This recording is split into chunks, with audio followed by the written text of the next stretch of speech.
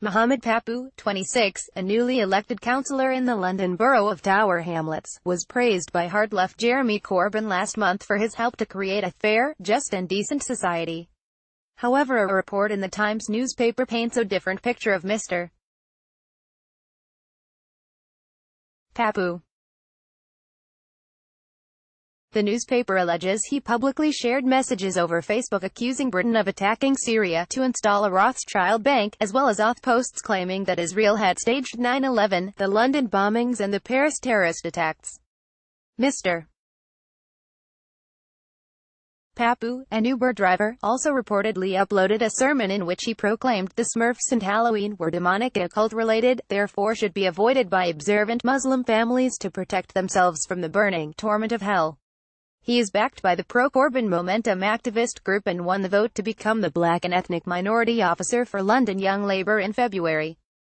In another controversial post over Facebook, he shared a photograph of President Assad of Syria and his wife, ASMA, with an illustrative cartoon speech bubble, Why does the West want to invade Syria?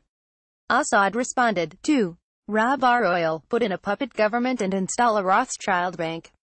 He resigned from all his council posts yesterday and apologized unreservedly after the Times confronted him about his digital trail across social media.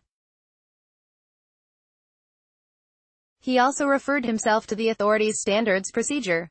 The National Labour executive is understood to have suspended him pending an investigation.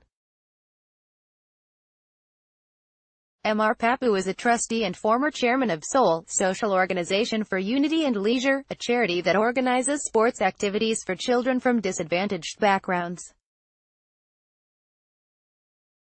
His Facebook account was intended to be read by children as he used it until at least 2016 for updates on timings, cancellations, kickoffs and training for teams as young as under 10s. The charity has launched an immediate safeguarding review. The revelations come just 24 hours after Israel's ambassador to the UN, Danny Danon, said Mr. Corbyn is an anti-Semite who wants to return Britain to dark periods in history, Mr. Corbyn has previously welcomed friends from Hezbollah and Hamas, Islamist terror groups sworn to the destruction of Israel, into parliament and recently admitted attending conferences with Hamas members and a wreath laying at the grave of an anti-Semitic terrorist. anti-Semite and a racist. The scandals following Labour's shift to the far left https colon slash slash t.co slash r8xlpc5q Breitbart London at Breitbart London July 18, 2018 footage has also surfaced of him comparing the state of Israel to Nazi Germany, a commonly recognized example of anti-Semitism. Follow Simon Kent on Twitter, follow at Sun Simon Kent or email to skent at breitbart.com.